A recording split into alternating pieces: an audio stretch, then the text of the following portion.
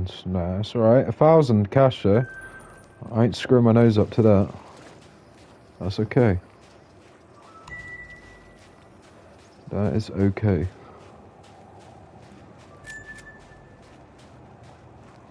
Keep getting my rifle score up, is what I need. I'm saving up for a new scope at the minute. I think it's like 30, 40, 50, 60 grand, something like that.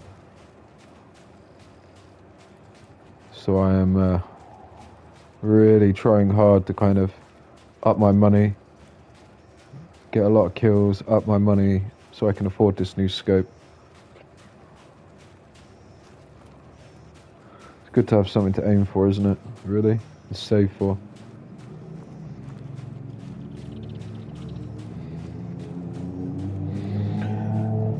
Then again, mind, I wouldn't personally pay sixty grand on a scope in real life. That's a lot of money, isn't it? You could buy you could buy a lot of scopes and a lot of guns for that. Very good ones.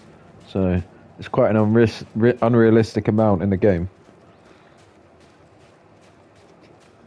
Sixty thousand pounds of dollars for a scope.